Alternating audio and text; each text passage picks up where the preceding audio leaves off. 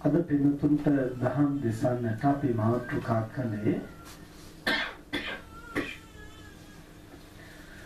බුදුරජාණන් වහන්සේ විසින් දේශනා කරන ලද වටිනා සූත්‍ර ධර්මයක් අංගුත්තර නිකායේ ඒකක නිපාතේ සඳහන් වෙන සූත්‍ර දේශනාව.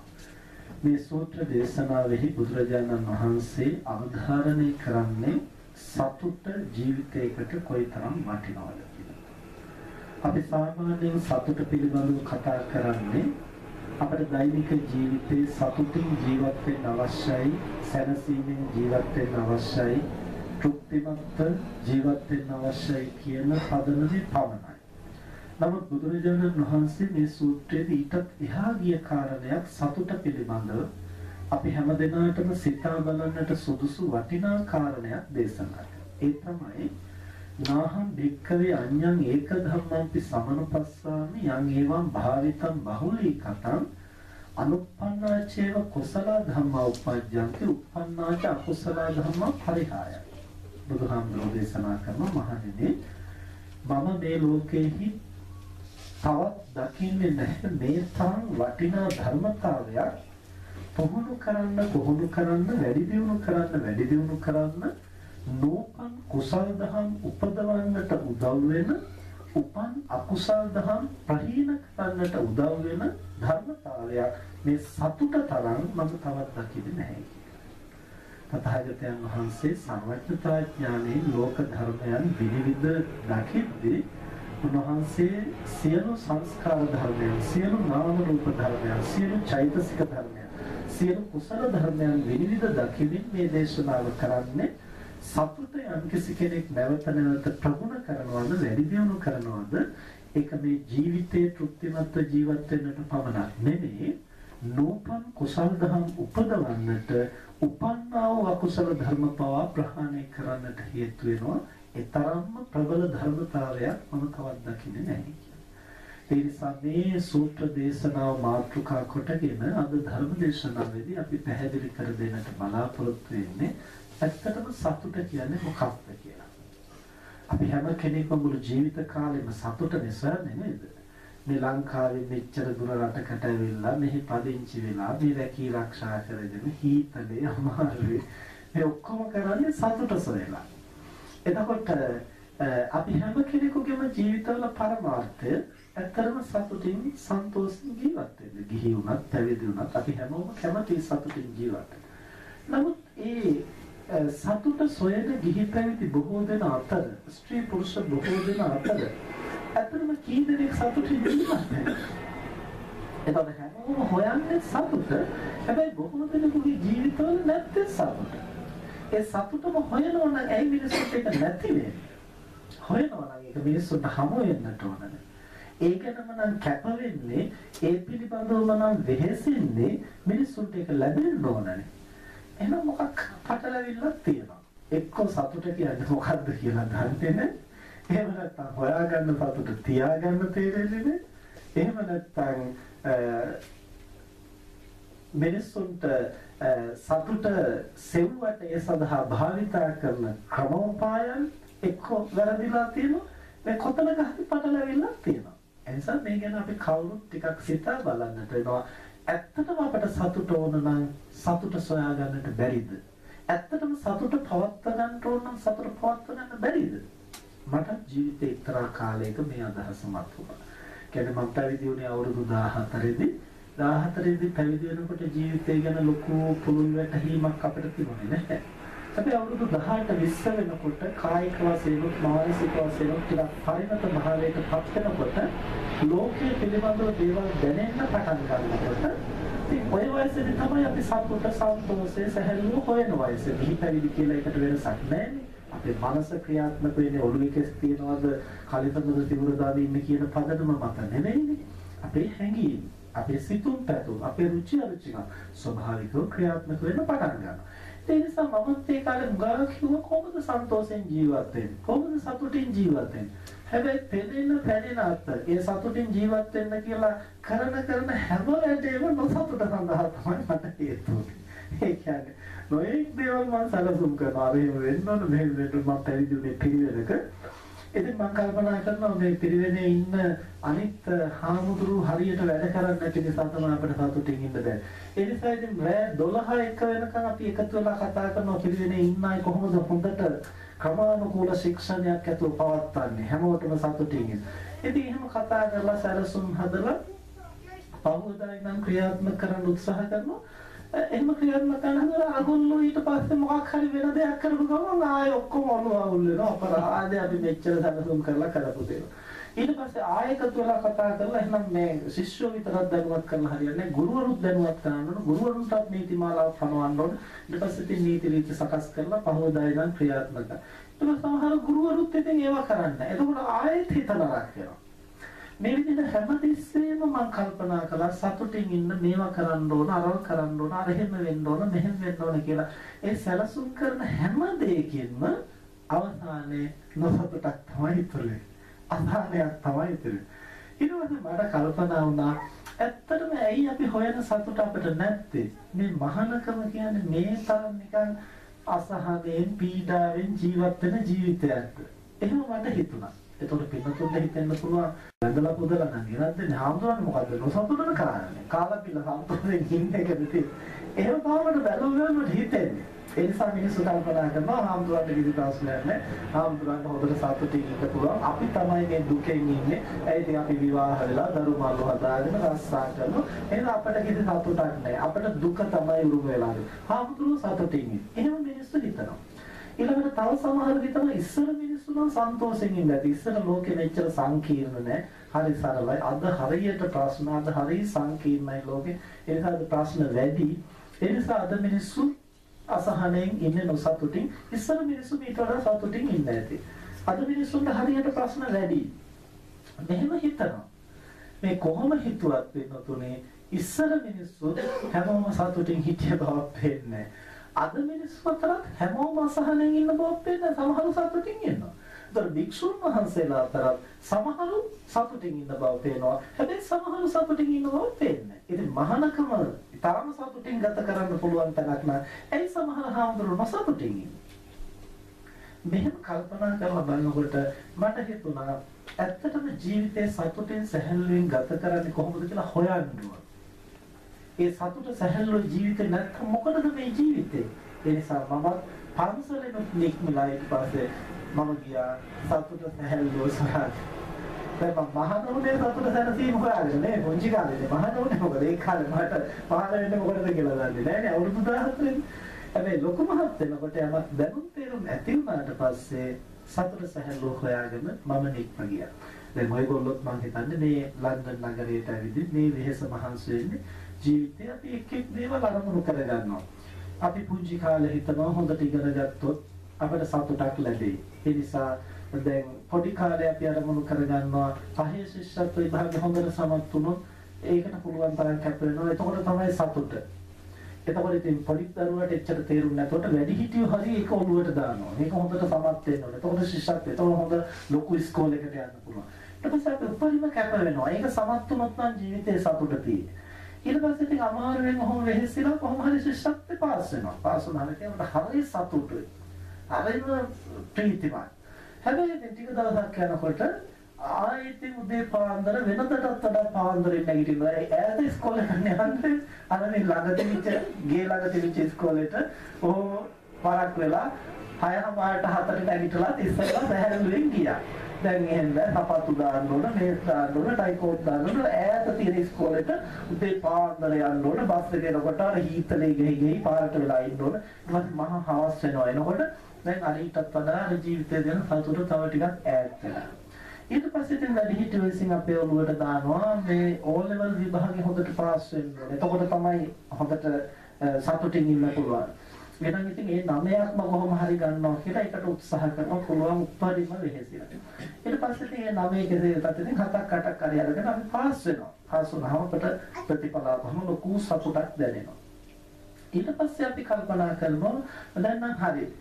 දැන් හරි කියලා හිතුණාට ඊට පස්සේ දැන් ඒකෙන් ඉවර වෙලා නැහැ. තව ඊළඟට උසස් පෙළ වගේ ඒ ලෙවල් කරන්න වෙනවා. ඒකෝට තව විභාගයක් ඒක ඊට වඩා අමාරුයි. දැන් අර සතුට වැඩි දවසක් භුක්ති විඳින්න නෑ ඊළඟ ප්‍රශ්නේ පටන් ගන්න. ඊට පස්සේ අපි ඒ ප්‍රශ්නේදී අපි උත්සාහ කරනවා මේකෙදි කොහොම හරි උත්සාහ කරලා ඒ හතරක් ගන්න ඕන. එතකොට විශ්වවිද්‍යාල ගියන් පස්සේ නම් ප්‍රශ්න ඔක්කොම ඉවරයි. එතකොට ඉතින් ඒ හතර කෙසේ වෙතත් යන්තම් කොහොම හරි අර කියන්නේ බෝඩ් ට්‍රේන් යනවා කියලා එහෙම හරි විශ්වවිද්‍යාලයට යන්න කොහොම හරි අපි සමත් වෙනවා. ඊට පස්සේ විශ්වවිද්‍යාලයට යන්න පුළුවන් මට්ටමට ප්‍රතිඵල අපහොකට ලොකු සතුටක් වෙනවා. ඊට පස්සේ ප්‍රශ්නේ විශ්වවිද්‍යාලයක් තෝරාගෙන Tamanට අවශ්‍ය විශ්වවිද්‍යාලය ලැබෙයිද නැද්ද කියන ප්‍රශ්නය. අපි හිතමු කොහොම හරි විශ්වවිද්‍යාලයට ඇතුළු වුණා කියලා. ඊට පස්සේ ඒක උපාධිය ගත්තොත් නම් ඉතින් කිසිම ගැටලුවක් නැහැ රස්සාව අතේනේ. එතකොට ඉතින් බය වෙන්න දෙයක් නැහැනේ. ඉතින් මොන දුක හරි විඳගෙන අර කාල සීමාවේ අපි ඉගෙන ගන්නවා මේ උපාධිය සමත් කරගත්තට පස්සේ ජීවිතේ ඉතින් ඔක්කොම සියලු ප්‍රශ්න විසඳනවා උපාධියෙන් පස්සේ රජේ රැකියාවක් ගන්න පුළුවන්. හරි. උපාධිය ගත්තයින් පස්සේ අපිට ප්‍රශ්නේ උපාධිය ලැබිච්ච පමණට රස්සා හම්බ වෙන්නේ නැහැ. ඊට පස්සේ උපාධිය නැති මනුස්සෙන් නිකන් කුමරක් කොටන්න හරි පුළුවන්. අපිට උපාධිය තියාගෙන ඒක කරන්නත් නැහැ. කුලී වැඩ කරන්නත් නැහැ උපාධිය තියාගෙන. ඊට පස්සේ අපිට අනුකූලයක් මතුවෙනවා. අපේ උපාධියට ගැලපෙන රස්සා නැහැ. ඊට පස්සේ තන තන පොඩි පොඩි වැඩ කරලා අපි කල්පනා කරනවා මෙහෙමනම් ඉඳලා හරියන්නේ පිටරටකටවත් යන්න ඕන මේ ලංකාවේ මිනිස්සුන්ට කිසි අගයක් නැහැ අධ්‍යාපනයේ මේ මිනිස්සු නිකන් උගත්කමට සරලන මුදලක් දෙන්නෙත් නැහැ. උගත්කමේ වටිනාකමක් තේරෙන්නේ නැහැ. මෙහි ජීවත් වෙලා ඇති වැඩක් නැහැ. ඒ නිසා අපි පිටරට යන් කියලා තෝරගන්නවා. ඉතින් එංගලන්තෙට යනවා කියවන් පස්සේ ලොකු දෙයක් නෑ අපිට. බල එංගලන්තෙට යන්න ඔක්කොම සැලසුම් කරලා වීසා ලැබිච්ච දවසේදී ජීවිතේම ජයගත්තා වගේ ලොකු සතුටක් දැනෙනවා. ඊට පස්සේ ඉතින් මෙහෙට ඇවිල්ලා දැක්කට පස්සේ නිකන් අපි පියාඹනවා වගේ තමයි අපිට දැනෙන්නේ. හැබැයි දහසක් දෙකක් යනකොට ආපහු ඉතින් කන්න බොන්න නහතෙන් ඊට පස්සේ රක්ෂාවක් හොයාගන්න ඊට පස්සේ අර ලංකාවේදී නම් දන්න මිනිස්සුන්ට කතා කරන මොනක් හරි කරගත්ත. මෙහෙම පස්සේ හරියට වඩා ප්‍රශ්න දෙතුන් ගුණයෙන් වැඩෙනවා. ඊට පස්සේ අපි කොහොම හරි රස්සාවක් හොයාගත්තන් පස්සේ අපි කල්පනා කරනවා රස්සාවක් හම්බුනෙන් පස්සේ නම් ඉතින් ගැටලුවක් නැහැ. ඒක පවුම් වලින් හම්බ වෙන්නේ. ලංකාවේ වගේ රුපියල් සත නෙමෙයි. හැබැයි ඉතින් පවුම් වලින් හම්බුනාට වියදම් කරන්න වෙන්නේ පවුම් වලින්. පවුම් වලින් අම්ම කරන රුපියල් වලින් වියදම් කරනවා නම් පොඩි ඉතිරියක් තියෙනවා. පවුම් වලින් අම්ම කරනවා වගේ පවුම් වලින් යනකොට මොකුත් නැහැ. ඉතින් අන්තිමට ලංකාවේ හිටියන් මෙහෙ හිටියන් අමුත්තකුත් නැහැ. දීතර විතරයි ඊට පස්සේ දරුවන් පාසල් ලැබීමේ ප්‍රශ්න. ඊළඟට ඒගොල්ලගේ සංස්කෘතිය පිළිබඳව ප්‍රශ්න. මෙහෙම වැල නොකැරි දැන් අපි හැම දෙයක්ම කරන්නේ සතුට සඳහා. හැබැයි සතුට සඳහායි හැම දෙයක්ම කළත් අවසානයේ අපට ඉතුරු වෙන්නේ ඒක සම්පාදනය වෙනකොට අපේ බලාපොරොත්තු ඉටු වෙනකොට යම් ශක්තියක් අපට දැනෙනවා. ඒ දැනුණා වුණාට එසැනින්ම ඒ සතුටකට වැඩි කාලයක් විඳින්න හම්බ වෙන්නේ ඒකෙන් පස්සේ මතුවෙන ඊළඟ ප්‍රශ්න දහසක් මතුවෙනවා. ඊට පස්සේ ඒ ටිකත් එක්කලා කරලනකොට ඒ ටික විසඳා ගැනීම සතුට අපට භුක්ති විඳින්න ඉඩක් නැහැ. ඊළඟ ප්‍රශ්න ටික මතුවෙනවා. මෙහෙම මුළු ජීවිත කාලේ නැවෙනකන් අපි වෙහෙසුනා අපිට සතුටු වෙන්න තවසක් ඇද්ද නැද්ද කියලා හිතාගන්න බෑ. ජීවිත කාලෙම හම්බ කරලා තියෙනවා, දරුවෝ හදලා තියෙනවා, විවාහ වෙලා තියෙනවා, අරසා කරලා තියෙනවා, එංගලන්තෙ ගිහින් තියෙනවා, හම්බ කරලා ඔක්කොම කරලා තියෙනවා. හැබැයි කවුද සතුටු වෙලා තියෙන්නේ? දැන් මෙහෙම ටිකක් ආවර්ජන කරලා බලනකොට සතුට නැත්තේම අපේ විචින් විතර නිකන් ඇවිත් ගිහින් තියෙනවා. හැබැයි ලැබිච්ච දේවල් එක්කලා අපිට තෘප්තිමත් වෙන්නට කාලයක් නැති වෙලා නිසා බුදුරජාණන් වහන්සේ දේශනා කරන මේ ප්‍රශ්නය තුල අපට නොපෙනිච්ච තැනක් තියෙනවා. ඒ මොකක්ද? ලද දෙයින් සතුටු වීම කියන එක. ලද දෙයින් සතුටු වෙනවා කියනකොටම අද ගොඩක් දෙනා තේරුම් ගන්න වැරදිම විදිහකට. කොහොමද තේරුම් ගන්නේ? ලද දෙයින් සතුටු වෙනවා ඔන්න හිතින් ඔය තියෙන තරම ඇති. කොහොම ඉන්නු? එහෙම ඉන්න එක තමයි ලද දෙයින් සතුටු. ඒකද? එතකොට උත්තරම වීරය කියන්නේ මොකක්ද? නොලබු සම්පත් ලබන්නට වීරය කරන්න, දහඩිය වගුරුවල මහන්සි වෙන්න, හරි හම්බ කරන්න. එතකොට ඒක දේශනා කළේ මොකද? ලද දේ සතුලා ඕනම තියෙන ඒවා ඇති කියලා හිතාගෙන ඉන්නවනම් මොකද උත්තරම දීන්නේ? මෙහෙම අපි වැරදි විදිහට ඒක අර්ථකථනය කරගන්න. ඒ නිසා අපි කල්පනා කරනවා ඔය ලද දේ සතුට වෙලා නම් හරියන්නේ නැහැ. ජීවිතේ අපි වෑයම් කරන්න. එතකොට අනක පැත්තකටම දාලා අපි උත්සාහ කරනවා. උත්සාහ කරනවා උත්සාහ කරනවා අර ලබදෙන් සතුට වෙනවා කියන එක අමතක කරයින් පස්සේ අපිට සන්තුෂ්ටිය කියන එක ජීවිතේ ගොඩාක් ඈතට පලා යනවා. ඒ නිසා බුදුරජාණන් වහන්සේ අපට දේශනා කරන සන්තුෂ්ටිය පවත්වා ගන්නට නම් ලද දෙයින් සතුට වෙනවා කියන එක අපි හඳුනා ගන්න. හැබැයි මේක උත්හාන වීරයට පටහැනි දෙයක් නෙමෙයි. ඇත්තටම මොකද්ද ලද දෙයින් සතුට වෙනවා කියන්නේ? ලද දෙයින් සතුට වෙනවා කියලා කියන්නේ පිටුතුනේ නොලබූ සම්පත් ලබන්නට අපි වෑයම් කරන්න ඕන. අපි හිතමු යමක් සම්පාදනය කරගන්න අර මම මුලින් කිව්වා වගේ අපි විභාගෙ ලියනවා නම් ඒ නමයක්ම ගන්න උත්සාහ කරන්න ඕන. රස්සාව කරනවා රස්සාවේ උපරිම ප්‍රතිඵල ලබන්නට අපි වෑයම් කරන්න ඕන. 100%ක්ම අපි උත්සාහ කරනවා. හැබැයි 100%ක් උත්සාහ කළාට කවදාවත් 100%ම සඵල වෙන්නේ නැහැ. අපි හිතමු 190ක් සම්පාදනය වෙනවා. සම්පාදනය වුණාන් පස්සේ අපිට සතුට නැති වෙන්නේ කොතනද? අර සම්පාදනය වෙච්ච 90 ගැන හිතලා තෘප්තිමත් වෙන්න අපිට බෑ. නොලැබිච්ච 10 ගැන හිතලා අපි තැවෙන්නට පටන් ගන්නවා. ඒ නොලැබිච්ච 10න් තැවිලා ඊට පස්සේ පහවදාට ඒක ඔළුවේ තියාගෙන නැවත වෑයම් කරනවා. පහවදාටත් 95ක් විතර හරියනවා. හැබැයි 95න් තෘප්තිමත් වෙන්න බෑ. අර නැති වෙච්ච පහ ගැන අපි අසහනයටපත් වෙනවා. එතකොට මොකද වෙන්නේ? මුළු ජීවිත කාලෙම උත්සාහ කරලා තියෙනවා. ජීවිත කාලෙම දේවල් ලැබිලා තියෙනවා. ජීවිත කාලෙම භුක්ති විඳලා තියෙනවා. කවදාවත් සතුටින් ඉඳලා නැහැ. ඇයි සතුටින් ඉඳ වෙලා තියෙන්නේ? නොලැබිච්ච එක ගැනමයි දුක් වෙලා තියෙන්නේ. ඒ නිසා බුදුහාමුදුරුවෝ අපට දේශනා කරනවා නොලැබුණු සම්පත් ලබන්නට 100%ක්ම වෑයම් කරන්න. හැබැයි 150ක් නම් සඵල වෙන්නේ ඒ ලැබිච්ච දේ ගැන තෘප්තිමත් වෙන්න. ඒකෙන් කියන්නේ ඒක ඇති කියන එක නෙවෙයි. ඒක ප්‍රමාණවත් නැහැ තමයි. හැබැයි ප්‍රමාණවත් නැහැ කියලා ඉතින් අඬලා වැඩක් නැහැ. දැන් වෙච්චම ලැබුණේ. ඒ ලැබිච්ච එකත් එක්කලා සතුටු වෙන්න නොලැබිච්ච දේ ලබන්න නැවත වෑයම් කරන්න. ඉතුරු 50 සම්පාදනය කරන්න නැවත වෑයම් කරන්න. හැබැයි වෑයම් කරද්දී අනේ මට 50ක් අහිමි වුණානේ කියලා අසහනින් උත්සාහ කරන්න එපා. අර ලැබිච්ච 50 ගැන සතුටු වෙලා තෘප්තිමත් වෙලා තෘප්තිමත් මනසින් ඉතුරු 50ක් ලබන්නට උත්සාහ කරන්න කුමක් සඳහාද අවශ්‍යතාවය සඳහා. එහෙමනම් අපිට මෙතනදී තෝරා බේරා ගන්නට වෙනවා අපි දැන් ඉතුරු 50 සපයන්නට උත්සාහ කරන්නේ කුමක් සඳහාද? මෙතනදී අපට තෝරා බේරා ගන්න වෙනවා පුද්ගලයාගේ හැඟීම් සහ අවශ්‍යතා. අපි හැඟීම් වලට වහල් වෙලා නම් මුළු ජීවිත කාලෙම අර දේවල් උපයන්නට උත්සාහ කරන්නේ අපට කිසිම දාක තෘප්තිමත් වෙන්නට බැහැ වෙනවා. ඇයි? හැඟීම් කියනවා කවදාවත් දේවල් සම්පාදනය කරලා තෘප්තිමත් කරන්නට පුළුවන් දේවල් නෙවෙයි. නමුත් අවශ්‍යතාව තෘප්තිමත් කරන්න පුළුවන්. දැන් උදාහරණයක් හැටියට ගත්තන් පස්සේ අපි කෑම කනවා. කෑම කනකොට ආමාශයේ එක්තරා අවස්ථාවකදී තෘප්තිමත් වෙනවා. නමුත් කෑදරකම තෘප්තිමත් වෙනවද? නෑ ඒක තෘප්තිමත් වෙන්නේ ඒක ජීවිත කාලෙම කෑවත් කෑදරකම සංසිඳවන්නට බෑ. හැබැයි ආමාශයට අල්ලන ප්‍රමාණයක් තියෙනවා. ඒ නිසා ජීවිතයක අපට සතුටින් ජීවත් වෙන්නට ඕන නම් අවශ්‍යතාවය කුමක්ද හැඟීම කුමක්ද කියලා මේ දෙක වෙන් කරගන්න.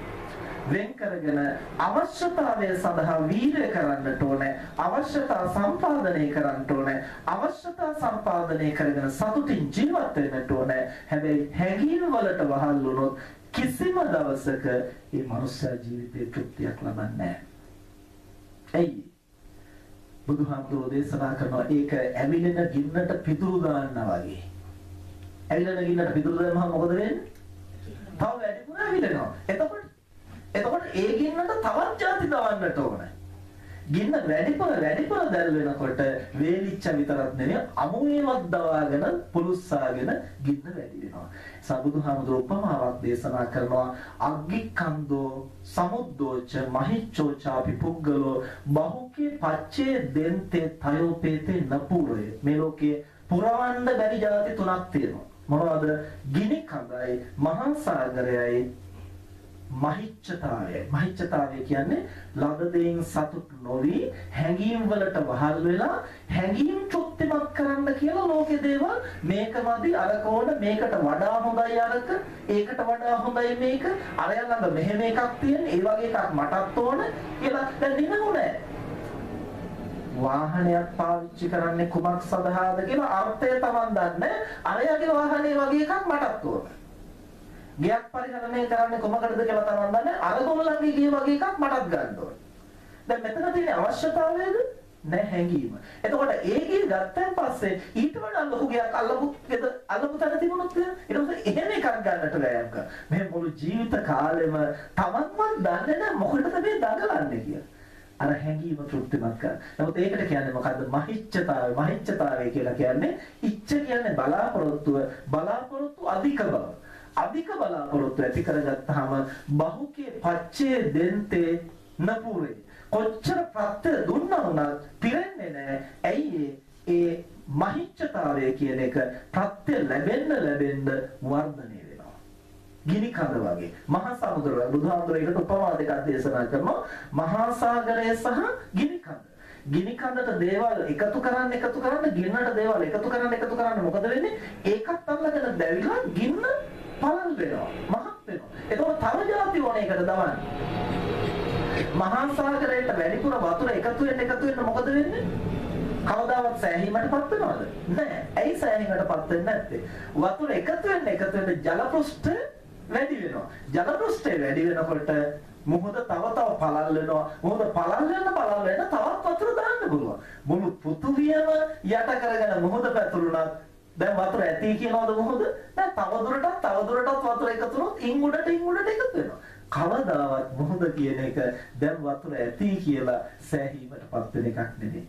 ගින්න කවදාවත් දැම්මට දවන්න ලැබිච්ච දේවල් ඇති කියලා සෑහීමටපත් වෙන දෙයක් නෙමෙයි. බුදුහාමුදුරෝ දේශනා කරනවා මේ ගින්නයි මහා සාගරයයි වගේ තමයි මහිච්ඡතාවය හැඟීමට වහල් වෙලා තමන් දේවල් සම්පාදනය කරන්න උත්සාහ කරනවා ඒ මගේ හැඟීමට අනුව දේවල් සම්පාදනය කළාම මම සතුටු වෙයි.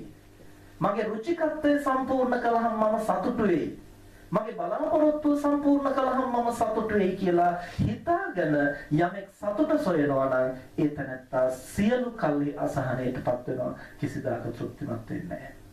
ඇයි? ඒක තෘප්තිමත් කරන්න පුළුවන් දෙයක් නෙමෙයි. තෘප්තිමත් කරනවා නම් කරන්න පුළුවන් එකම දේ කුමක්ද? අවශ්‍යතාවය පමණයි. විදිවසා ගැනීමේ අවශ්‍යතාවය. ඇඳුම් බැඳීමේ අවශ්‍යතාවය. ඒක ඇඳුම් බැඳීමේ අවශ්‍යතාවය කියනවා විලිවැසීම පමණක් නෙමෙයි. ආයතනයට යනකොට යන්න ඕන ක්‍රමයක් තියෙනවා. මගුල් ගෙදරට යනකොට යන්න ඕන ක්‍රමයක්. මල ගෙදරට යනකොට යන්න ඕන ක්‍රමයක්. ඒ මට්ටමට අපි සැකසෙන්න ඕන. එහෙම නැතු නිකන් යන්තම් වැරහැලි ඇඳගෙන ඉන්නට නෙමෙයි.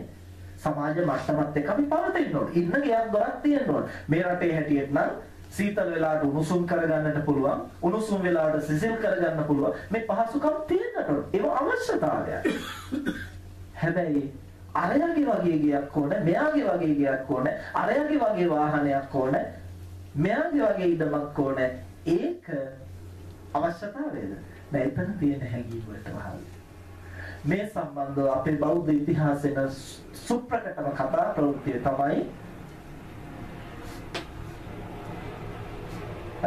මන්දාතු රජතුමා පිළිබඳව ප්‍රවෘත්ති. මන්දාතු කියලා කියන්නේ මහා මන්දාතු කියලා කියන්නේ සක්විති රජ කෙනෙක්. ඒ චක්‍රවර්ති රජුරුවන්ගේ කාලේ ආයුෂ අවුරුදු ලක්ෂ ගණනක්. අවුරුදු අසංඛ්‍යයක් පමණ ඒ කාලේ ආයුෂ. එතකොට මේ රජුරුව අවුරුදු දසදහස් ගණනක් ලක්ෂ ගණනක් මනුෂ්‍ය ලෝකේ චක්‍රවර්ති රාජ්‍ය සම්පත් විඳලා දවසක් බොහෝම උකටලීව ඉන්නවා. එතකොට අර අමාත්‍යවරු ගිහින් අහනවා ස්වාමීනි මොකද බොහොම කලකිරිලා වගේ. අසරාජු කියන මේ සක්විති රජ සම කියන්නේ මෙච්චරද? මට දැන් තිත්ත වෙලා තියෙනවා. යපදාම එකම විදිහට. මේකද මේ සක්විති රජ සම කියන්නේ. එතකොට අමාත්‍යරු කියන ස්වාමීන් මනුස්ස ලෝකෙකින් ලබන්න තියෙන සම ඔච්චර තමයි උපරිම. අර සක්විති රජ සමට එහා එකක් මනුස්ස ලෝකේ නෑ. ඔයිට වඩා එකක් ඔබ වහන්සේට ඕන නම් ඉතින් චාතුරු මහරජික දිව්‍ය ලෝකෙට තමයි යන්නේ. දැන් සක්විති රජවරුන්ට යම්කිසි 이르දි බලයක් තියෙනවා. චක්‍රවර්තයත් එක්කලා තවත් කැමති තැනකට යන්න පුළුවන්. ඒ නිසා චක්‍රවර්ති රජුරෝ යෝජනා කරන එහෙනම් අපි ඉතින් යමු එහෙ. ඉතින් මෙහෙම මොකටද නිකන් මේ දුක් විඳින්නේ? එහෙනම් අපි චාතුරු මහරජිකේට යනවා.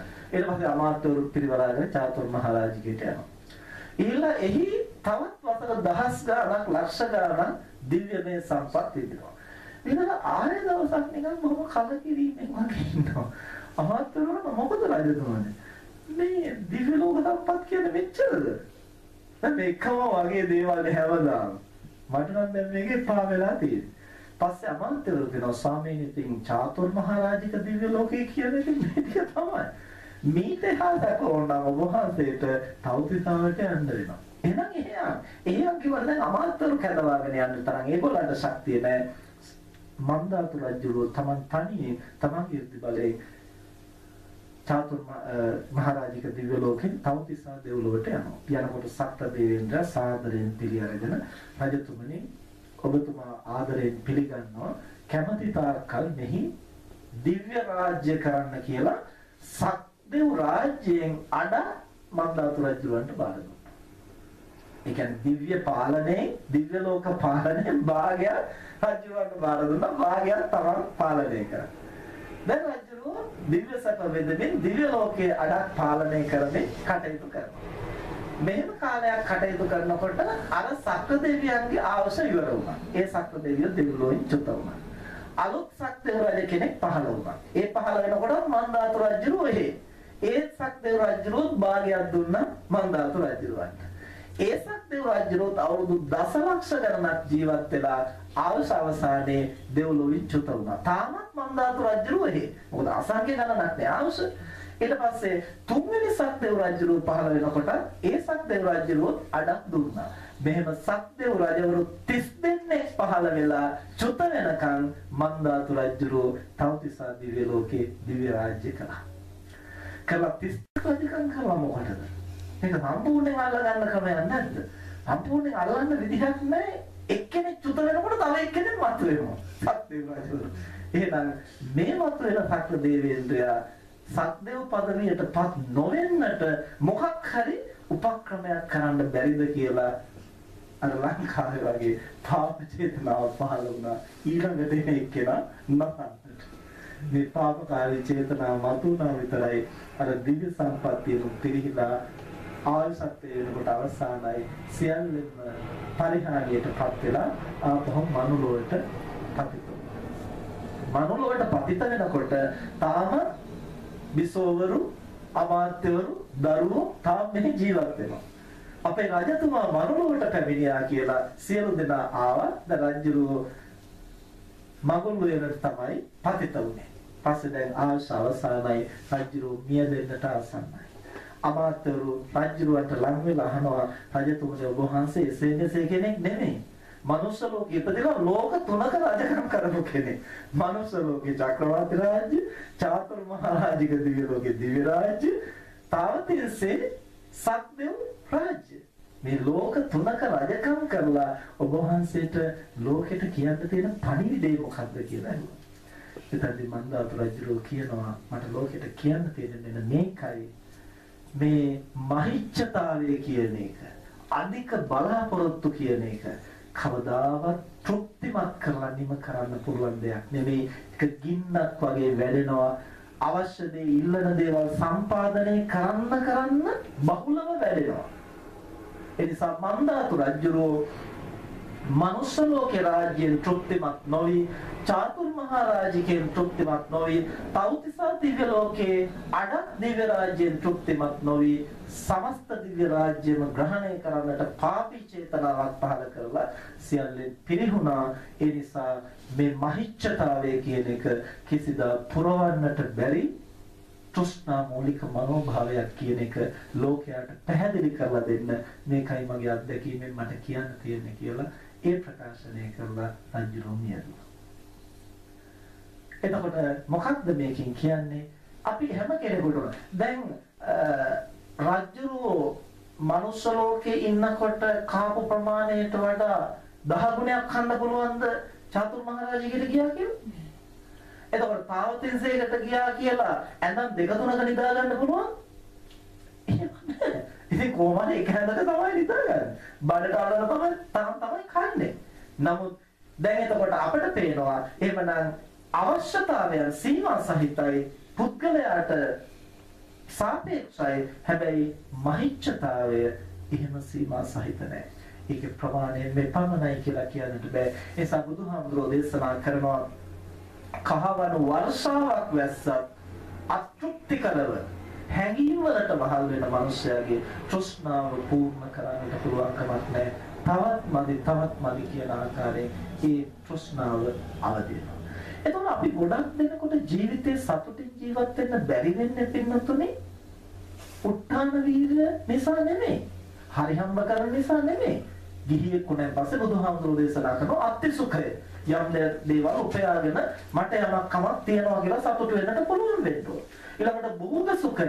Taman හරි හම්බ කරගත්තු දේවල් සතුටින් භුක්ති විඳලා ජීවත් වෙන්නට පුළුවන් වෙන්නට ඕන. අනන සුඛය ණය නැහැ කියලා සතුට වෙන්න පුළුවන් වෙන්න ඕන. අනවජ්‍ය සුඛය ඉපයීමේද සහ භුක්ති විඳීමේදී ලෝකෙට අනර්ථයක් කරලා නැහැ කියලා සතුට වෙන්න පුළුවන් වෙන්න ඕන. ඒතර අත්‍යසුඛය කියන්නේ මොකද්ද? මට මේවා තියෙනවා කියලා. පැවිද්දෙක් වගේ සියල්ලත් ඇහැලා ගිහියෙකුට ජීවත් වෙන්න බෑ. ගිහියෙකුට මිල මුදල් තියෙන්න ඕන, රැකී ආරක්ෂා තියෙන්න ඕන, අමුදරුවන් කැමතිනම් විවාහ වෙලා අමුදරුවන් ඉන්නට ඕන. මේ හැම දෙයක්ම තියෙන්නට ඕන. හැබැයි මේවා තිබීමේ අවශ්‍යතාවය කුමක්ද කියලා තේරුම් ගන්නට ඕන. හැඟීම් වලට වහල් වෙලා නම් ඒවා සම්පාදනය කරන්නේ ඒ මනුස්සයා කාමයේ තුලම විනාශ වෙනවා. අද ලෝකයට වෙලා තියෙන්නේ මේ කාමයන්ගේ සීමාමායින් හඳුනා ගන්නට බැහැ. ප්‍රමාණයන් හඳුනා ගන්නට බෑ. අවශ්‍යතාවයේ මායිම් හඳුනා ගන්නට බෑ. මායිම් හඳුනා ගන්නට බැරුව හැඟීම් වලට වහල් වෙච්ච ගමන්ම එක් දෙයක් අත්විඳිනවා. ඒක ටික කාලයක් අත්විඳනකොට අර මන්දාතු රජුරවන්ට වගේ ඒක නීරස වෙනවා. මේ ඉන්ද්‍රයන්ගේ ස්වභාවය ඒක. කොච්චර ප්‍රේමනාප දෙයක් ලැබුණා වුණත් පින්නතනේ භුක්ති විඳිනකොට භුක්ති විඳිනකොට ඒකේ රසය ෂේ වෙලා යනවා. ඒක මේ සංස්කාර ධර්මයන්ගේ ස්වභාවය. හොඳට රසම තේ වර්ගයක් ගෙන්නගෙන හැමදාම බොන්න බලන්න මොකද වෙන්නේ කියලා. ටික දවසක් කරනකොට ඒක නහන්නේ. කැමැතිම කෑමක් කන්න බලන්න මොකද වෙන්නේ කියලා. ටික දවසක් කනකොට නහන්නේ. ඔය විවාහයටත් වෙන්නේ මොකද තමයි. විවාහ වෙන්න ඉස්සෙල්ලා අයා තමයි හොඳම කෙනා ලෝකේ ඉන්නේ. හැබැයි විවාහ වෙලා අවුරුද්දක් දෙකක් පරණ වෙනකොට නෑ ඊට වඩා හොඳයි තව නිකන් එළියේ ඉන්නවා වගේ. තව ටිකක් කරගෙන දැන් මේ පෞත්තුම කෙනාවට හම් වෙලා තියෙනවා වගේද? ඇයි මේ? අර පරණ වෙන්න පරණ වෙන්න නීරස වෙන ගතිය මේ සංස්කාර ධර්ම වල තියෙනවා. ඒක ඇහැ, කන, නාසය, දිව, කය, රූප, ශබ්ද, ගන්ධ, රස, ස්පර්ශ ඔක්කොම කියනවා. ඒ නිසායි වල සංස්කාර කියන්නේ. ඉතින් අර නැවුම් ගතිය තියෙන නම් ආය ආය ප්‍රතිසංස්කරණය කරන්න ඕනේ. ඒක නෙවෙයි සබර කැලලක් උනා ටික දවසක් එක විදිහට ආය කොලේ වෙනස් කරනවා. කොලේ වෙනස් කරනවා මිල වැඩි කරනවා. එතකොට ආය ගන්නවා. ඊට පස්සේ ආය හැඩය වෙනස් කරනවා. ආය පාට වෙනස් කරනවා. ආය සුවඳ වෙනස් කරනවා. එතකොට ඕන තරම් ගන්නවා. හැබැයි එකම පාටේ එකම විදිහෙන් තියෙනකොට කවුරුත් ගන්නෙ නැහැ. දැන් ලංකාවේ ඉස්සර කාලේ තිබුණා ලයිෆ් බෝයි හරිම ප්‍රසිද්ධයි. එක්තරා කාලයක් තිබුණා ලයිෆ් බෝයි කවුරුත් ගන්නෙ නැහැ. ඊට පස්සේ බැලුවා හරියන්නේ හැඩේ වෙනස් කළා, කොලේ වෙනස් කළා, සුවඳ වෙනස් කළා. දැන් ලයිෆ් බෝයි තමයි ලංකාවේ වැඩිපුරම හදන්නේ. එතකොට මේක තමයි සංස්කරණය කියන්නේ. සංඛාර කියන්නේ නැවත නැවත සංස්කරණය කරන. ඒක අලුත් වෙන්න අලුත් වෙන්න තමයි ඉන්ද්‍රයන්ට ගෝචර වෙන්නේ. නැත්තම් නිකන් එකම වගේ තියෙනකොට ඒක ඉන්ද්‍රයන්ට නීරස වෙනවා. මේක මේ සංස්කාර ධර්මයන්ගේ ස්වභාවය. මේක මේ ඉන්ද්‍රිය ධර්මයන්ගේ ස්වභාවය. නමුත් අපි තේරුම් ගන්නට ඕනේ මේවා පරිහරණය කරන්නේ කුමක් සඳහාද? අපේ සීමාවයින් තුල අවශ්‍ය නම් ප්‍රතිසංස්කරණය කරගත්තට කමක් නැහැ. තමන්ගේ සීමාවයින් තුල හැබැයි ඉතින් බිරිඳ කියන කෙනා ආය ප්‍රතිසංස්කරණය කරන්නේ දැන් ඕක තමයි ආසියාතික සංස්කෘතිය සහ බටහිර සංස්කෘතියේ තියෙන වෙනස. බටහිර සංස්කෘතියේ වෙනස් කරන්න බැරි දේවල් ප්‍රතිසංස්කරණය කරන්න යනවා. බිරිඳ ප්‍රතිසංස්කරණය කරනවා. දරුවෝ ප්‍රතිසංස්කරණය, විවාහය ප්‍රතිසංස්කරණය කරනවා. නමුත් අපේ සංස්කෘතිය තුළ අපි එහෙම පුරුදු වෙලා නැහැ. අපි එහෙම පුරුදු වෙලා නැහැ. අපිට තියෙනවා ඊට වඩා ආචාරශීලී බව. ඒ ආචාරශීලී බව අපි රැඳෙන්නට උත්සාහ කරනවා. හැබැයි අපට අර සංස්කාරයන්ගේ පොදු ලක්ෂණය පොදුයි. ඒ කියන්නේ පරණ වෙනකොට එපා වෙන ගතිය. ඒ නිසා නැවුම් කරගන්නට අපි ඒ පුද්ගලයාගේ වටිනාකම් ඒ පුද්ගලයාගේ ගුණාත්මක ස්වභාවය ඒ පුද්ගලයාගේ තමන්ට තියෙන උපකාරය තමන්ට තියෙන සහයෝගය තමන් එක්කලා මෙච්චර කාලයක් ජීවත් වුණා කෘතවේදීව අන්න ඒව මතු කරගෙන තමයි ඊට පස්සේ අපි එතන ප්‍රතිසංස්කරණය කරගන්නේ. සවිවාහ සංස්ථාව පවත්වන්නට ආදරේ විතරක් තිබිලා හරියන්නේ නැහැ පින්නතුනේ. එතන විශ්වාසය තියෙන්න ඕන, ගෞරවය තියෙන්න ඕන, අන්‍යෝන්‍ය කෘතවේදීත්වය තියෙන්න ඕන. මේ ඔක්කොමත් එක්කලා තමයි විවාහ ජීවිතය මරණාසන්න මොහොත දක්වා නැවුම්ව පවත්වන්නට පුළුවන් වෙන්නේ. එහෙම නැති වුණොත් ආදරේ විතරනම් තියෙන්නේ තෘෂ්ණාව විතර නම් තියෙන්නේ දරුවෙක් දෙන්නෙක් ලැබෙනකොට ඒක ශ්‍රේ වෙලා ගියපු ගමන් එතන නීරස වෙනවා. ඊට පස්සේ බැඳෙන්න රැඳෙන්න දෙයක් නැති වෙනකොට එතනින් ගිලිනවා එතකොට විවාහ ජීවිතේ මහා කරදරයක් වගේ දැනෙනවා. මහා අනුමුදයක් අයියෝ අපි වැරටුණානේ හාමුදුරුවෝ නම් දිනුවා. අපි තමයි උගුල ඇහුනේ දැන් ඉතින් අපි මේ ඇදගෙන යනවා එහෙම තමයි ගොඩක් දෙනා කියන්නේ එහෙම නැහැ බුදුහාමුදුරුවෝ දේශනා කරන ලෝකේ සැප වර්ග දෙකක් තියෙනවා ගිහි සුකංච පප්පජ්ජ සුකංච. පැවිදි සැපේ කියලා එකක් තියෙනවා. ගිහි සැපේ කියලා තව එකක් තියෙනවා. පැවිද්දා පැවිදි සැපේ විඳින්න ඕන ගිහියෝ ගිහි සැපේ විඳින්න. පැවිද්දා ගිහියෙක් වගේ ඉඳලා හරියන්නේ නැහැ. ගිහියා පැවිද්දෙක් වගේ ඉඳලා හරියන්නේ නැහැ. එතකොට නිකන් දෙන්නේ ජීවිතයක්. එතකොට නිකන් එතනත් නැති මෙතනත් නැති නිකන් ඇට්ටකුණා වෙච්ච ජීවිත. එහෙම බෑ. ගිහියා ගිහි නම් කම්සප විඳින්න අමුදරුවන් පෝෂණය කරමින් එතන ගිහියෙක් හැටියට.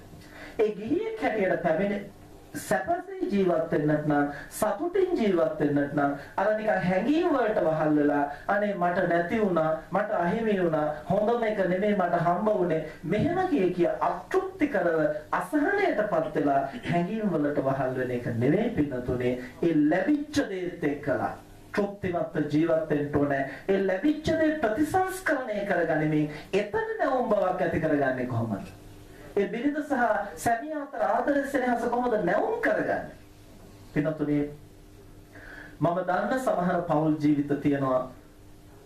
ඇත්තටම ඒක කිව්වත් ගැටලුවක් නෑ අපේ සජ්ජන සංවිධානයේ සභාපතිතුමා අධිකාරම්මැතිතුමා මම හුඟක් අගය කරන ජීවිතයක් ලොකු දරුවෝ තුන් දෙනෙක් ඉන්නවා. ඒ කියන්නේ දැන් මං හිතන්නේ වැඩිමහල් දරුවා දැන් විවාහ වෙන්නට ආසන්න මට්ටමේ. හැබැයි අධිකාරම් මහත්මයා නෝනයි ඒ පෞල් ජීවිතේ අදට ඊටාම සෙනෙහසින් ඊටාම සමගි සම්බන්ධ තම ආදරයෙන් ගැටෙන්නේ නැතුව නෙමෙයි වැරද්දක් දැක්කම කෑ ගහනවා දරුවන් කරන්න ඕන ලා දරුවන් කරනවා බනින්න ඕන ලාට බනින්න ඒ ඔක්කොම තියෙනවා හැබැයි ආදරයේ සෙනෙහස අර විවාහ වෙච්ච අලුත වගේ ඒවා කොහොම නැවුම් විදිහට පවත්නවා ඒ කොහොමද විටින් විට යම් යම් ප්‍රතිසංස්කරණ විවිධ ක්‍රමවලින්.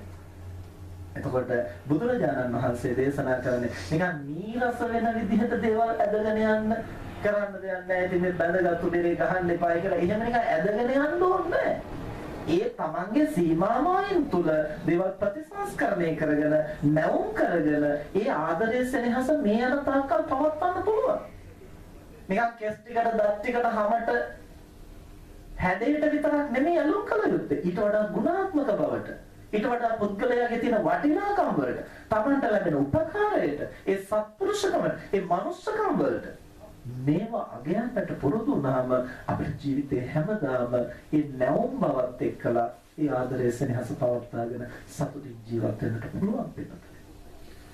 ඒ නිසා ජීවිතයක අපි හැම විටම කල්පනා කරන්න ඕනේ. අපි නිකන් හැඟීම් වලට වහල් වෙලා පමණ ජීවත් වෙනවා නම් ඒ බඳු මිනිසුන්ට නිකන් ලැබිච්ච දේ ගැන අවඥා කරමින් නොලද දේ තමයි හොඳම සතුට කියලා හුඟක් වෙලාවට හිතෙන්නේ මේ මිනිස්සුගේ චින්තනයේ තියෙන එක්තරා ස්වභාවය. දැන් බලන්නකෝ නගරේ ඉන්න මිනිස්සු හූල්ලන්නේ කොහෙ ගැනද? අනේ මේ නගරේ මේ දූවිල්ලයි දුමයි කවදා ටිකක් මේ ගම් පළාතට ගිහිල්ලා නිදහසේ ජීවත් එහෙම තමයි තියෙනවා. ගමේ ඉන්න මිනිස්සු මොකද කියන්නේ? අයියෝ මේ කවදා මේවට ලයිට් දෙයිද මේවට පාරවල් හැදෙයිද වාහන හැදෙයිද කඩ මණ්ඩියක් වැටෙයිද මේක නගරයක් වෙයි.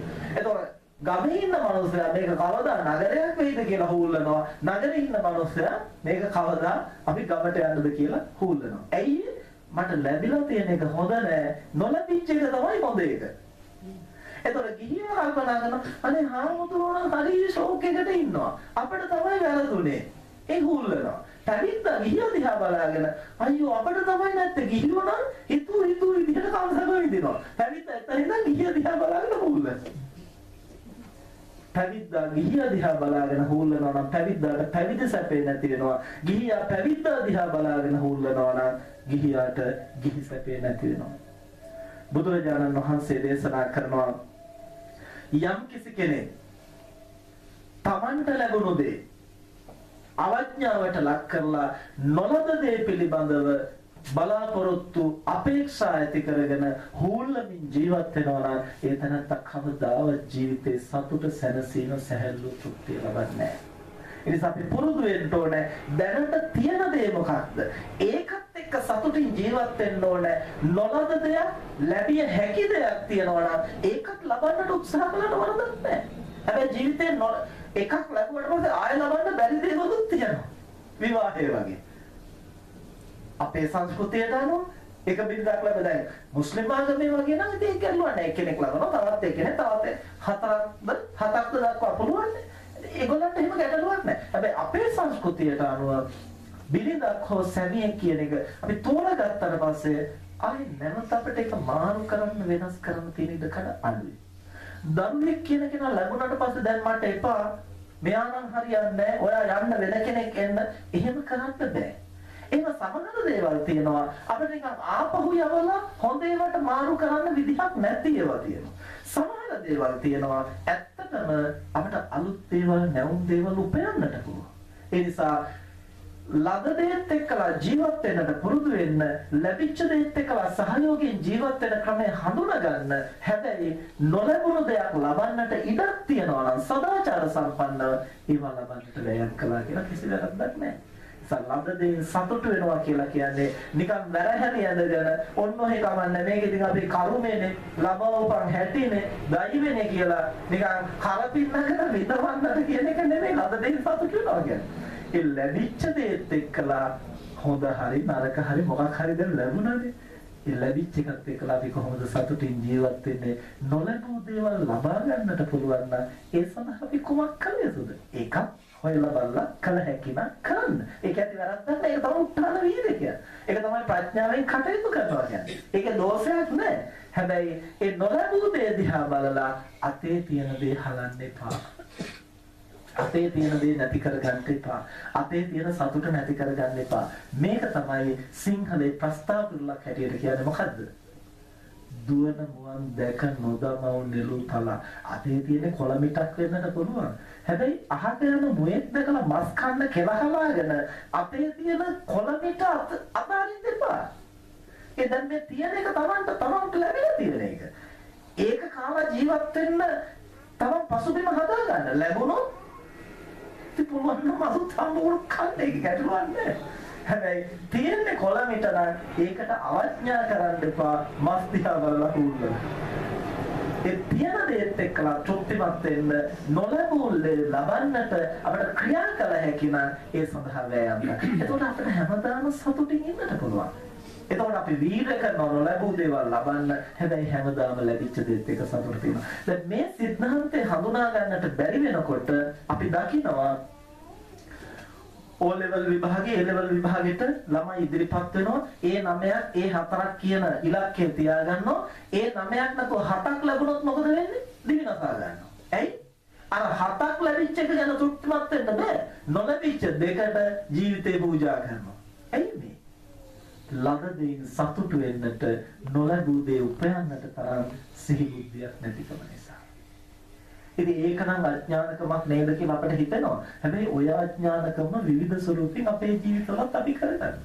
අපි උත්සාහ කරාම වීර්ය කළාම අපිට හුඟක් දේවල් ලැබෙනවා. හැබැයි නොලැබිච්ච දේ. දැන් මට වුණත් ජීවිතේ එක්තරා කාලයක එහෙම එක්තරා හීනමානයක් තිබුණා.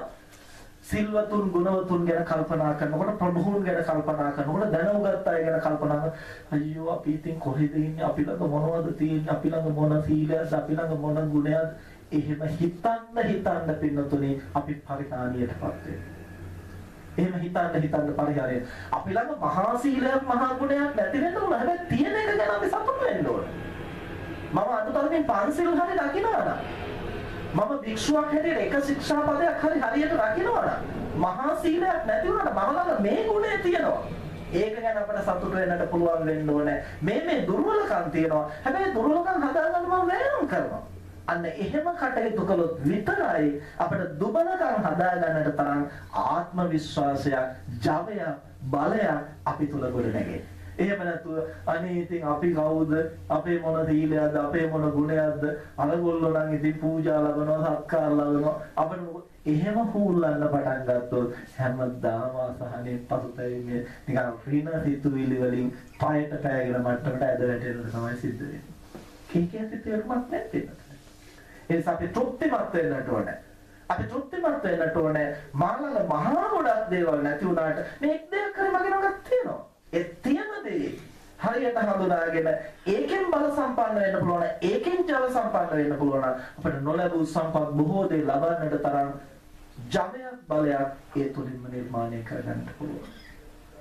ඒ හැකිය. මේකයි ලද දෙයින් සතුට වෙනවා කියන්නේ. නමුත් අද හුඟක් බෞද්ධයෝ ලද දෙයින් සතුට වෙනවා කියන එක අර්ථකථනය කරගන්නේ මැටි පැලේ ඉන්නවා ඉතින් මැටි පැලේම හිටපල්ලා. ඒක තමයි ලද දෙයින් සතුට වෙනවා. වැර හැරිලා නරින හැමදාම වැර හැරීම අඳපල්ලා. ඒ ලද දෙයින් සතුට වෙනවා කියන්නේ එහෙම එකක් බුදුහාමුදුරුවෝ දේශනා කළා නෑ පිළිතුරු. ඉතින් එහෙම දේශනා කරනවා උත්හාන වීරය දහඩිය මාන්දී හරි හම්බ කිරීම අහවල් දෙයකට බුදුහාමුදුරුවෝ දේශනා කරනවා. ඒ නිසා ලද දෙයින් සතුට වෙනවා කියන්නේ නොලැබූ සම්පත් ලබන්නට වීරය කරන්න 100%ක් වීරය කරලා 150ක් නම් ඒක පූර්ණ වෙන්නේ ඒ පූර්ණ වෙච්ච 150 ගැන තෘප්තිමත් වෙන්න. මම මෙච්චර උපයාගත්තා. මගේ දහඩිය මාංශයේ වෙනස මාංශයේ මෙච්චර උපයාගත්තා. ඒ ගැන සතුටු වෙන්න. හැබැයි ඒ උපයාගත්තු දේ ප්‍රමාණවත් නැත්නම්. නිකන් හැංගීම් වලට වහල් වෙලා නෙමෙයි. අරගොල්ලෝ නම් 100ට 100ම උපයාගත්ත මට තමයි නැත්තේ කියලා එහෙම හිතන්න ගියොත් අසහනේ ඒ නිසා 50 වදි නම් ඉතුරු 50 ලබන්නට හෙට වීර කළාට කමක් නැහැ හැබැයි හැම විටම නොලැබූ සම්පත් ලබන්නට වෑයම් කරනකොට ප්‍රශ්න දෙකක් තමන්ගෙන් අහන්න ඕන. මොකක්ද මේ ප්‍රශ්න දෙක? පළවෙනි එක තමයි මම උපයන්නේ කුමක් සඳහාද? දෙවැනි එක තමයි මම ඉපීම සඳහා කරන්නේ කුමක්ද? උපයන්නේ කුමක් සඳහාද? ඉපීම සඳහා කරන්නේ කුමක්ද? ඇයි උපයන්නේ කුමක් නැති වුණොත් අවශ්‍යතාව මතක නැතිලා නිකන් හැංගීම් වලට වහල් වෙලා අපි දඟලනවා. අරයාගේ කාර් එක වගේ, මෙයාගේ ගේ වගේ, අරයාගේ ඉඩම වගේ, අරයාගේ නෝනා වගේ මෙහෙම ඒවා දැක දැක අපි නිකන් ඒවට හොල්ල හොල්ල නොලැබිය හැකි දේවල් ලබන්නට අපි ජීවිත කාලෙම කැප වෙනවා. අසහනින් නැල්ලා. ඒසා උපයන්නේ කුමක් සඳහාද? මෙන්න මේ අවශ්‍යතාවය සඳහා. අවශ්‍යතාවයක් තියෙනවා නම් අද දහසක් උපයපු කෙනා හෙට දසදහසක් ඉපෙයිවයි කියලා බෞද්ධ ප්‍රතිපදාවට විරුද්ධ නැහැ පින්නතුනි. හැබැයි මතක තියාගන්න ඕනේ කුමක් සඳහාද දසදහස උපයන්නේ? මට කුමක් සඳහාද දහසෙන් ජීවත් වෙන්න බැරි? ඇයි මට දසදහසක් ඕන වෙන්නේ? මේ ප්‍රශ්නේ පැහැදිලිව උත්තර සපයා ගන්න. මේ ප්‍රශ්නේ පැහැදිලි කරගන්න. පැහැදිලි කරගත්තන් පස්සේ හෙට දසදහසක් උපයපු කෙනා අනිද්දාට දස ලක්ෂයක් ඉපෙව්වත් වරදක් නැහැ කුමක් සඳහාද මම උපයන්නේ කියලා හරියටම දන්නවා. ඊළඟට දෙවෙනි ප්‍රශ්නේ තමයි ඉපීම සඳහා මම මොකද්ද කරන්නේ? ඒ කියන්නේ උපීම සඳහා අපි භාවිතා කරන ක්‍රමය තමන්ටත් අනර්ථදායක අනුන්ටත් අනර්ථදායක දෙයක් නම් එහෙම උපයලා කවදාවත් සතුටින් ජීවත් වෙන්න පුළුවන් අපි හැම දෙයක්ම කරන්නේ මොකටද? සතුටින් ඉන්න. ඉතින් සතුටින් ඉන්න බැරි වෙන දේවල් අපි කරනවා නම් ඒ ඉපීම කුමක් සඳහාද? අසහනෙන් දැවි දැවි පීඩාවටපත් වෙලා වෙහෙසටපත් වෙලා අපි කුමකටද උපයලා? ඒ නිසා අපට හැම විටම දෙවෙනි ප්‍රශ්නයෙන් අහන්න ඕනේ උපයන්න මා කුමක්ද කරන්නේ? ඒ කරන දේ මට සෑහීමටපත් වෙන්න පුළුවන් දෙයක්. මේ ප්‍රශ්න දෙක අපෙන් නැවත නැවත අහනවා නම් මොකක්ද ප්‍රශ්න දෙක? උපයන්නේ කුමකටද? ඉපීම සඳහා මම කරන්නේ කුමක්ද? මේ ප්‍රශ්න දෙකට හරියට පිළිතුරු සපයාගෙන අවංකව අපි කටයුතු කරනවා නම් අත්ති සුඛ, භෝග සුඛ, අනන සුඛ, අනවජ්‍ය සුඛ කියන මේ සැප හතරම ජීවිතේක අපිට විඳින්නට පුළුවන් කියලා. අත්ති සුඛයි කියන්නේ මට මේ මේ දේවල් තියෙනවා. ඇයි තියනවා කියලා සතුට වෙන්න පුළුවන් වෙන්නේ? මගේ අවශ්‍යතාව සම්පාදනය කරගන්න මට දේවල් තියෙනවා. හැබැයි හැඟීම් වලට වහලන පුද්ගලයාට කවදාවත් අතිසුඛ වෙන්න පුළුවන් කිසිදාක බෑ අර මන්දාතු රජුට වගේ තමයි. ඔච්චර ලැබුණා සතුට වෙන්නේ ඇයි? කුස පිරුණාට හිත පිරෙලා නැහැ. අටකොට පිරුණාට තමන්ගේ තෘෂ්ණාව පිරෙලා නැහැ. ඒ නිසා හැඟීම් වලට වහල් වෙන පුද්ගලයාට කවමදාකවත් අත්ති සුඛය කියන එක ජීවිතේ විඳින්නට බැහැ.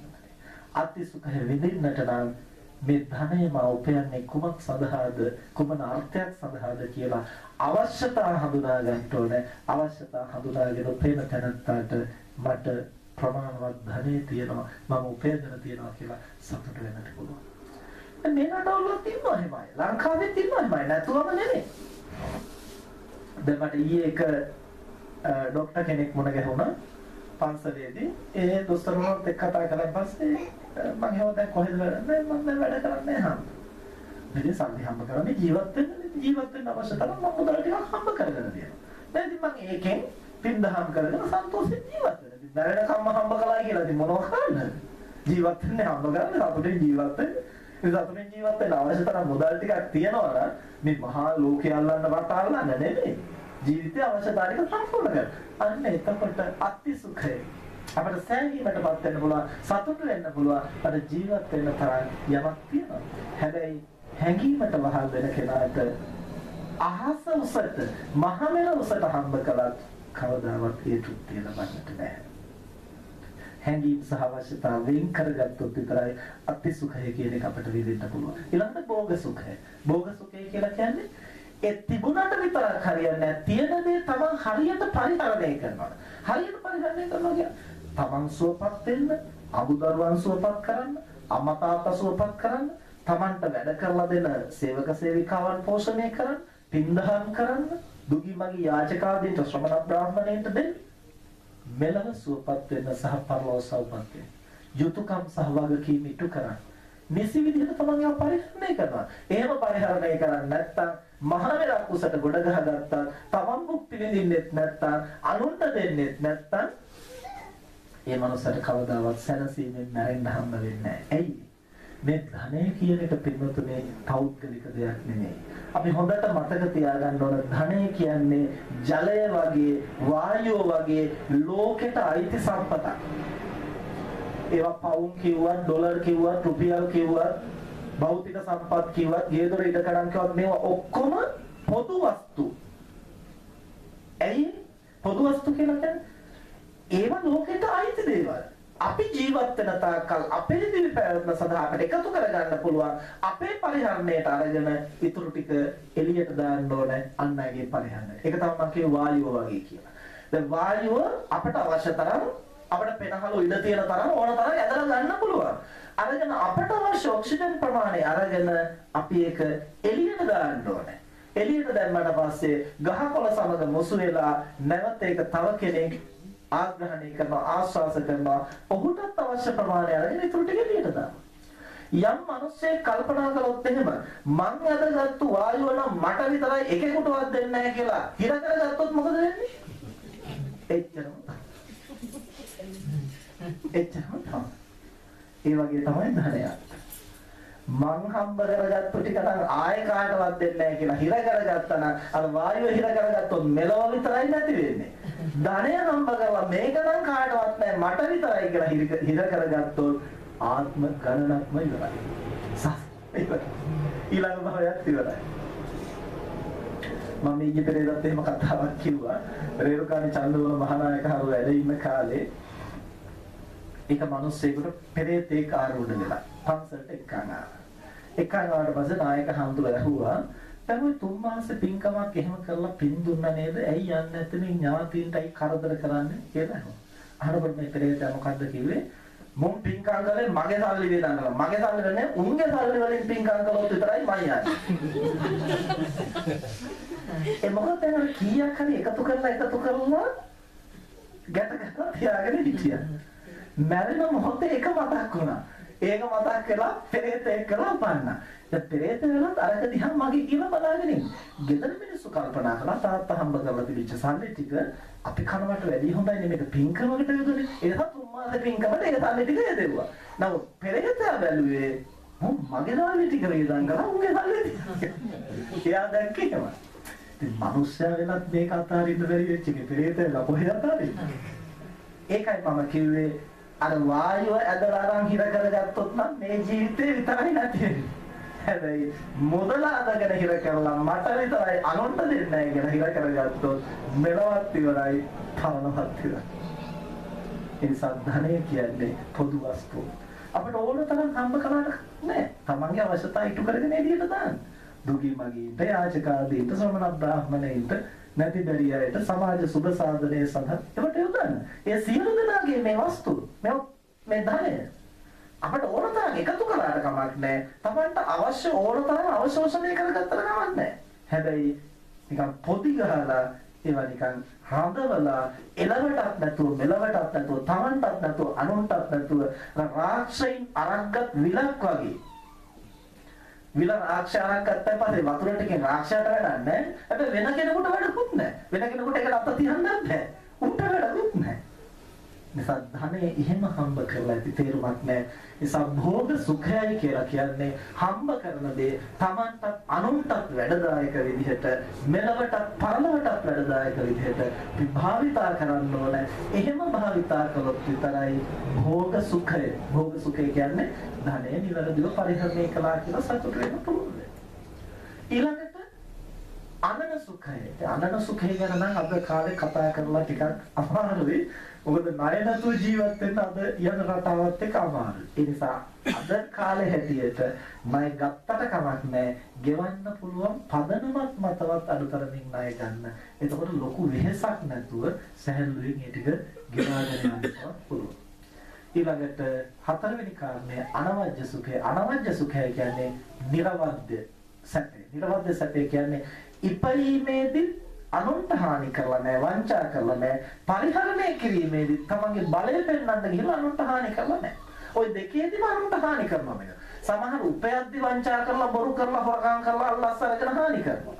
සමහර උපයද්දි ධාර්මික උපයනවා. හැබැයි පාවිච්චි කරන්න ගිහලා මත්පැන් බීගෙන කෑ ගහගෙන අනුන්ට සද්ද දාගෙන බලපුලුවන්කාරකම් පෙන්නගෙන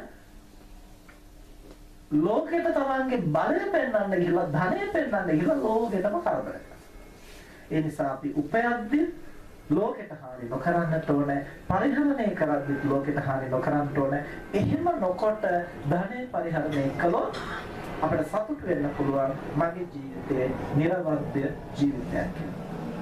එතකොට දැන් මේ හතරම බුදුහාමුදුරෝ දේශනා කරන්නේ කුමක් සම්බන්ධව?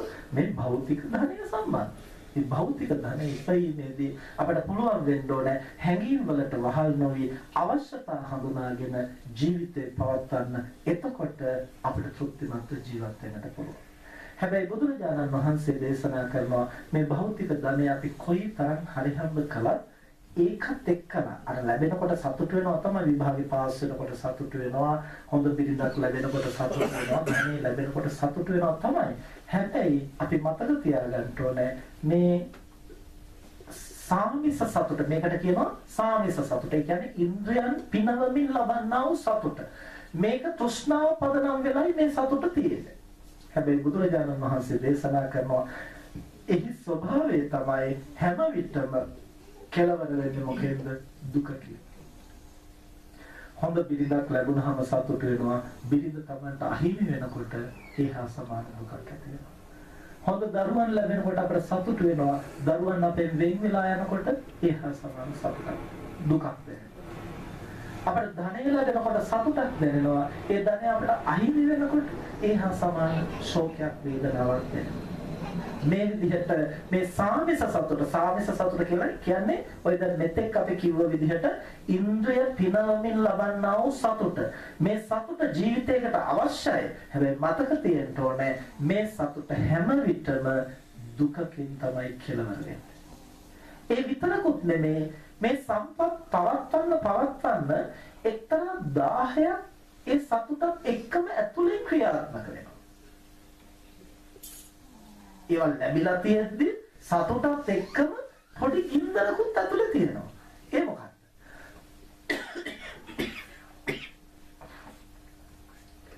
බලන්නකෝ අපි හිතමු රුපියල් ලක්ෂයක විතර නෝට්ටු මිටියක් කාට හරි අනිත් අය බලා ඉද්දි අතට දෙන්න බලන්න මොකද වෙන්නේ කියලා. නැත්තු ගමන් එකපාරට ඉක්මනට බලන්නේ හංග ගන්න. ඇයි? ඇයි බය වෙන්නේ?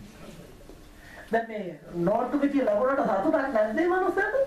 සතුටක් තියෙනවා. හැබැයි ඒත් එක්ක බයකුත් මතුවෙනවා. මොකද්ද බය? මේක නැති වෙයිද? හොරකම් කරයිද? අහිමි වෙයිද? ගනීද? මේ ප්‍රශ්නේ හැම විටම මේ සාමිස සතුටත් එක්කලා බද්ධ වෙලා තියෙන අපිට පේනුන්නේ නැති උනට හැම තිස්සෙම Tamanට හොඳ දෙයක් ලැබිච්ච ගමන් Taman කැමති දෙයක් ලැබිච්ච ගමන් ඇතුලේ ඕක තියෙනවා. ඒක ප්‍රකට නැහැ. හැබැයි විටින් විට මතුවෙනවා. මට මතකයි දවසක් ඔය පත්‍ර කෑල්ලක මම නිකන් දැහැක් පිටක් කොහෙද උතර දෙවිච්ච පත්‍ර කෑල්ලක කියෙව්වා ලංකාවේ ක්‍රිකට් කණ්ඩායමේ ඉහළම පෙළේ කෙනෙක් එක්කලා කරපු සමුඛ සාකච්ඡා. ඉතින් දැන් මේ මහත්මයා කියනවා මට හරිය සතුටුයි මම දැන් ලෝක ප්‍රසිද්ධයි දැන් ක්‍රිකට් කණ්ඩායමේ හොඳම ක්‍රීඩකයෙක් මම. දැන් මට මෙච්චර වාහන තියෙනවා මට ගෙවල් තියෙනවා ඉඩ කඩන් තියෙනවා මුදල් තියෙනවා මට හොඳ බිරිඳක් ඉන්නවා මට හොඳ දරුවෙක් ඉන්නවා ඔක්කොම කියලා අන්තිමට මේ මනුස්සයා ඇත්තක් කියලා දෙනවා කියන්නේ. ඇත්ත. හැබැයි මට පොඩි බයකුත් තියෙනවා. ඒ මොකද මම කොයි වෙලේ නැති වෙයිද? ඔය භීතිය හැම විටම මේ සාමිස සතුටක් එක්කලා අපේ මනසේ පවතිනවා. එනිසා බුදුරජාණන් වහන්සේ දේශනා කරනවා මේ සාමිස සතුට පරිහරණය කරනකොට ඕක වටහාගෙන පරිහරණය කරන්න. ඒ කියන්නේ මේවා කොයි මොහොතක හරි නැති වෙනවා. මේවා හැමදාම එක විදිහට තියෙන්නේ නැහැ. මේවා අහෝසි වෙනවා විනාශ වෙනවා කියන බව මතක තියාගෙන අවබෝධ කරගෙන පරිහරණය කරන්න එතකොට නැති වෙච්ච වෙලාවට ලොකු ਸੰతాපයක් නැතුව සැහැල්ලුවෙන් ඒකට මුහුණ දෙන්න අපිට ලෝකෙට අපිට අමාරුවක් දැනෙන්නේ දුකක් දැනෙන්නේ ලෝක දේවල් අහිමි වීම නිසා නෙමෙයි ඒක පිළිගන්න ලැස්ති නැති නිසානේ දැන් මෙහෙම හිතන්නකො අපි කඩේකට ගිහිල්ලා මොකක් හරි උපකරණයක් ගන්නවා ගන්නකොට මුදලාලි කියනවා මහත්ම බය නැතුව ගන්න මේක ඕන තරම් වග කියන්න පුළුවන් මේක අහවල් රටේ හදපු හොඳම භාණ්ඩයක් බය නැතුව ගන්න. අපි ඒක මුදල් දීලා ගන්න. ඒ භාණ්ඩෙම අපි වෙන කඩේකින් ගන්නවා. ඒ ඒ මිලමයි. හැබැයි ඒ මුදලාලි කියනවා මේක නම් වග කියන්න බෑ කොයි වෙලේ කැඩේ ඉඳන් අහවල් රටේ හදගෙන හැබැයි අල්ලලා හිටියොත් නම් දැන් කාලයක් අල්ලලා හිටනවා කැමති නම් ගෙනියන්න. අර මුදලම දීලා අපි අර භාණ්ඩෙත් තරන් යනවා. දෙකම සතියකින් කැඩෙනවා. කොයික කැඩීම ගැනද අපිට ගොඩක් අමාරුවක් දැනෙන්නේ. අර වගකීම් අර රටේ හදලා තියෙනවා මේවයි බය නැතුව ගෙනියන්න කියලා. හැබැයි දෙකටම අපි වියදම් කරේ එකම මුදල. හැබැයි දෙවනියට ගත්ත භාණ්ඩ ගැන අච්චර හිත නරක වෙන්නේ ඇයි? ඒක ගන්නකොටම ආවතාව ගියොත් කියා කියලා දැනගෙනයි ගත්තේ. හැබැයි මේක එහෙම නෙමෙයි ලොකු බලාපොරොත්තුවක් තියාගෙනයි ගත්තේ. එහෙනම් භාණ්ඩය අනිත්‍ය වීමද අපට දුක ඇති කලේ අපේ බලාපොරොත්තුව. අපේ බලාපොරොත්තු. නම් ලෝකේ දේවල් බිඳුනා කියලා අහිනුනා කියලා අපට අමාරුවක් නෑ. අපට අමාරුව දැනෙන්නේම ඒක එහෙම නොවේවි හැමදාම මගේ ළඟ තියේවි කියන අපේක්ෂාවයි අපට වේදනාව ඇති කරන්නේ. ඒ නිසා අපට කල්ැතුවම තේරුම් ගන්න පුළුවන් නම් ඒවා යම් කලක නැති වෙනවා. යම් කලක අහිමි වෙනවා. වෙනස් වෙනවා. බිඳෙනවා. මැරෙනවා. මේවා තේරුම් ගන්න පරිහරණය කරන්න පුළුවන් නම් එහෙම වෙච්ච දාට ලොකු අසහනයක් නැතුව සැහැල්ලුවෙන් මුණ දෙන්න පුළුවන්. ඒ සබුදුහාමුදුරෝ දේශනා කරනවා අපි ලෝකය පරිහරණය කරද්දී භෞතික සම්පත් සාමිස සම්පත් පරිහරණය කරද්දී ඔය අවබෝධය ඇතිව අපි ජීවත් වෙනවා. ඊළඟට බුදුරජාණන් වහන්සේ දේශනා කරන මේ සාමිස සැපේම සාමිස සතුටින්ම පමණක් තෘප්තිමත් වෙන්නට ජීවිතේක පුළුවන් කමක් නැහැ. මොකද සාමිස සතුටත් එක්කලා හැම තිස්සෙම ගින්න ඇතුලේ තියෙනවා. දාහය ඇතුලේ තියෙන මොකද ඒක තෘෂ්ණා මූලිකයි. ඒ නිසා අපට ඊට වඩා නියුණු සතුටක් ලබන්නට ඕන නම් ඒ සතුට කුමක්ද? නිර්ාමිස සතුටයි. ඒ නිසා සතුට දෙආකාරයි. සාමිස සතුට සහ නිර්ාමිස සතුට. සාමිස සතුට තමයි අපි මෙච්චරලා විස්තර කළේ ඇහැ පිනවලා කන පිනවලා දිව පිනවලා කය පිනවලා සිත පිනවලා තෘෂ්ණාව මුල් කොටගෙන මට මේ මේ දේවල් තියෙනවා කියලා භෞතික වශයෙන් අපි ලබන්නා වූ සන්තුෂ්ටි. ඒකත් අපිට ඕන. හැබැයි ඒක සීමා සහිතයි. ඒක යම් මොහොතක නැති වෙන්න පුළුවන්. නැති වෙනකොට අපිට කනගාටුවක් දැනෙනවා. ඒක දැනගෙන ඒවත් අවශ්‍ය නිසා අවශ්‍යතාවය හඳුනාගෙන පරිහරණය කරන්න ඊට එහා හැඟීම් වලට වහල් වෙලා කටයුතු කරන්න ගියොත් ඒකෙම මූර්ජා වෙනවා. ඒකෙන්ම අසහනයටපත් වෙලා විනාශ වෙනවා සතුට ඒකෙන්ම නැති වෙනවා. ඒ නිසා අවශ්‍යතාවය සලකාගෙන යම් දිනක නැති වෙනවා කියලා දැනගෙන අවශ්‍යතාවය මත ඒ භෞතික දේවලුත් පරිහරණය කරන්න. හැබැයි Tamanට හැබෑම සතුටක් ඕන ඒ සතුට ජීවිතේ උපයන්නට පුළුවන් වෙන්නේ නිර්ආමිෂ සතුටයි. මොකද්ද නිර්ආමිෂ සතුටයි කියන්නේ? තෘෂ්ණාවෙන් තොරව ලබන්නා වූ සතුට. ඒ මොකක්ද?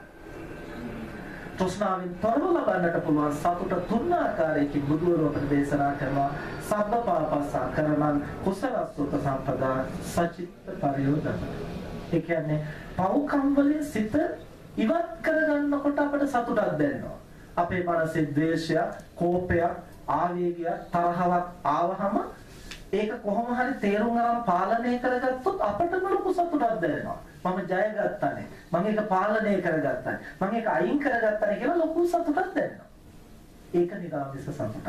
ඒක තෘෂ්ණා මූලික සතුටක් නෙවෙයි. ඒක අර භෞතික සම්පත් වගේ නැති වුනහම දුකක් ඇති වෙන්න දෙයක් නැති වෙන දෙයක් ඇතර ඇත්තේ නැහැ. එතන භෞතික ගොඩනගාපු දෙයක් නැහැ. ඒ නිසා කෙලස් දුරු කිරීමෙන්, පව්කම් දුරු කිරීමෙන්, අධර්මයෙන් බැහැරවීමෙන් අපට යම් සතුටක් දැනෙනවද? ඒ සතුට නිරාමිස සතුටක්. ඒක ජීවිතේ දාහය ඇති කරන්නේ හැම විටම සිසිල් ගුණයක් ඇති කරනවා. අර සාමිස සතුට සතුටක් තියෙන හැබැයි පොඩි උණුසුමකුත් එක්කලා ගින්නකුත් එක්ක දාහයකුත් එක්ක. දැන් අපිට අර කුෂ්ඨයක් කසනකොට ඉතින් පොඩි සතුටක් තියෙනවනේ.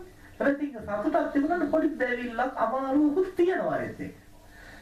කුෂ්ඨේ සනීප වුණාම එතකොට සනීපයි. අර කුෂ්ඨේ තියෙනකොට කහන කොට සනීපයි. කුෂ්ඨේ සනීප වුණාම සනීපයි. ඔය දෙකටම අපි කියන්නේ සනීපේ කියලා. අර තියෙද්දි කනකොට සනීපේ තමයි. ඒක හැබැයි පොඩි වේදනාවක් එක්ක මිශ්‍ර වෙච්ච සනීපය. මේක සුව වුණාම අපි කියනවා සනීපයි කියලා. එතන තියෙන නිවුණු සනීපය. අන්න ඒ වගේ තමයි සාමිස සැපේ සහ නිරාමිස සැපේ. සාමිස සැපේ යම් සැපයක් සතුටක් තියෙනවා. හැබැයි 10ක් එකම සුවේ. අර නිරාමිස සතුට කියන එක එම 10ක් නෑ. එතන තියෙන නිවුණු සිසිල්ලුණු එක්තරා සුවයක්. ඒ නිසා ජීවිතේ විටින් විටවත් අපි පුහුණු කරන්න ඕන මනසේ මතුවෙන කෙලෙස් ධර්ම පාප ධර්ම ආලේග ටික ටික සමනය කරගන්න පාලනය කරගන්න. එය පුහුණු කරන පුහුණු කරන පමණට සතුටක් තෘප්තියක් දැනෙනවා. ඒක තමයි දහම් රසයයි දහම් සුවයයි කියලා කියන්නේ. ඊළඟට හැකි හැකි අවස්ථාවල කුසල දහම් වඩන්න ඕන.